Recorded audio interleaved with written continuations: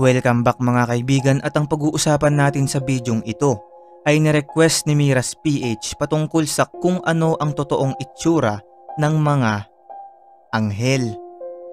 Pero bago ang lahat, kung gusto nyo ng ganitong klaseng mga video, ay siguraduhin mag-subscribe sa aking YouTube channel at iring mo na rin ang notification bell para updated ka lagi sa aking mga uploads.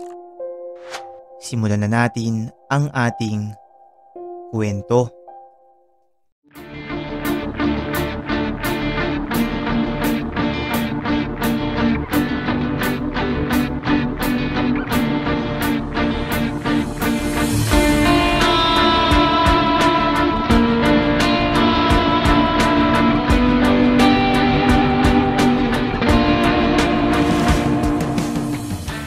Mga kaibigan, gusto kong isalarawan o imagine ninyo na halimbawa nasa isang lugar ka kasama ng iyong mga kaibigan, maganda ang tanawin, masarap sa pakiramdam ang klima, hinihintay niyong maluto ang inyong pagkain at kayo ay nagkwekwentuhan lamang at nagtatawanan.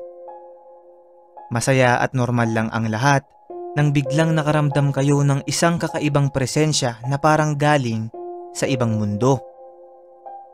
Mayat maya lang ay biglang may isang maliwanag na ilaw ang siyang pumukaw sa inyong mga mata. Natakot kayo dahil inisip nyong baka kukunin na kayo ng mga alien pero nung unti-unti nang nawala ang ilaw ay nakita nyong isa pala itong anghel. Ang tanong ay ano ang itsura nito?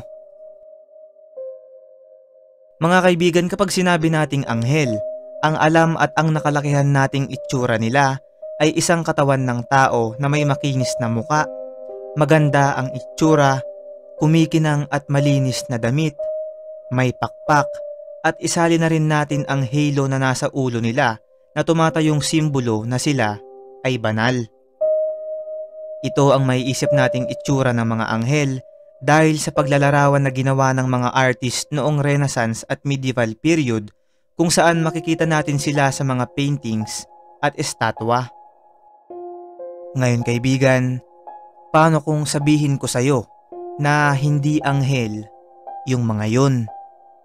Ayon sa Biblia, ay ang mga nilalang na ito lang ang may pakpak. Pero bago yan ay talakayin muna natin kung ano nga ba talaga ang anghel. Ang salitang anghel ay galing sa isang Greek word na angelos na may Hebrew word na malak na ang ibig sabihin ay messenger o sa Tagalog ay sugo, mensahero at tagapagbalita. Ibig sabihin ay sila ang mensahero ng Diyos mula sa langit hanggang dito sa ating mundo. Base sa mga kwento sa Biblia, ang itsura nila ay kagaya ng isang normal na tao at walang pakpak. Ngayon, kung kagaya lang sila ng isang normal na tao, ay ano ang mga ito? Mga kaibigan, ayon sa medieval Christian theology, ang mga messenger angels na to ay may tatlong iba't ibang grupo ng mga anghel. Ang seraphim, cherubim, at ophanim. Ang mga nilalang na to ay pinagdebatehan ng mga sinaunang kristyano noong unang panahon kung ito ba ay ang totoo nilang itsura o isa lamang simbolo na may mas malalim na kahulugan. Una sa ating listahan at ang pinakamataas na anghel sa kanila ay ang mga seraphim. Nakuha nila ang kanilang pangalan sa isang Hebrew word na seraph na ang ibig sabihin ay to burn.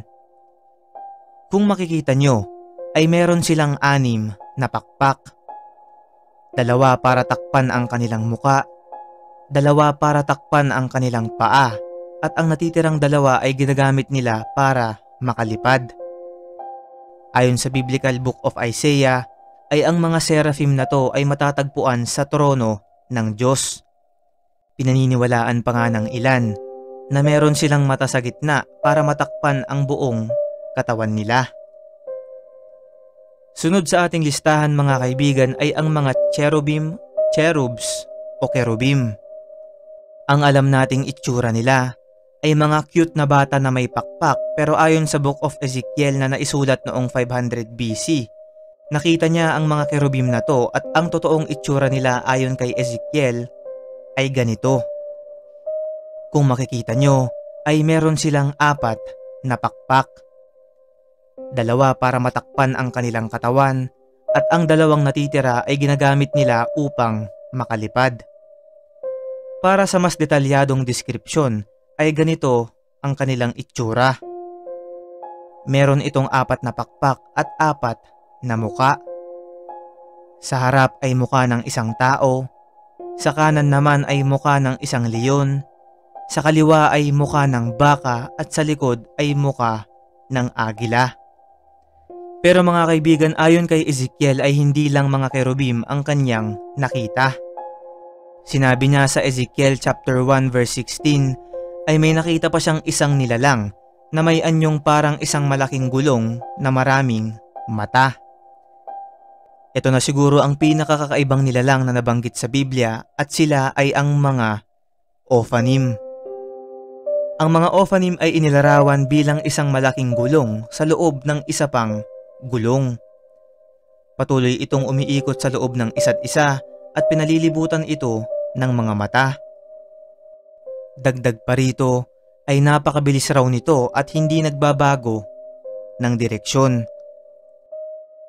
Mga kaibigan, gaya nga ng sabi ko kanina, ay pinagdebatehan ito ng mga sinaunang kristyano noong unang panahon kung ang mga teksto ba na to ay ang totoong deskripsyon ng mga anghel o isa lamang simbolo. Ayon naman sa ilan, ay ang mga nakita raw ni Ezekiel noon ay hindi mga anghel, kundi mga aliens. Sinabi nila na ang tinutukoy niyang isang napakabilis na malaking gulong at maraming mata ay ang kanilang spaceship. Ang mga mata nito ay ang mga ilaw na nakapalibot at hindi ito matukoy ni Ezekiel dahil wala pa namang teknolohiya noon para makagawa ng mga ganong bagay kaya inakala niya na lang na ito ay isang anghel. Ikaw kaibigan, ano sa tingin mo ang totoong itsura ng mga anghel? I-comment mo sa baba ang iyong opinion at magkakasama natin itong pag-usapan. Ano't ano pa man mga kaibigan ay wala pa rin sino man sa atin ang nakakalam kung totoo ba to o hindi. Kaya nga sa atin ito lang ay isang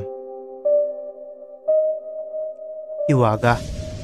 Shoutout nga pala kay Angelo Lopez, Yumi Gaming, Jeffrey Garsula, Neon, Fanny TikTok, Ian Mark Sarmiento, Mikael Sarmiento, Cariza TV, Clark Bacara, Kimberly Garlitos, JM Miranya at TikTok, TikTok.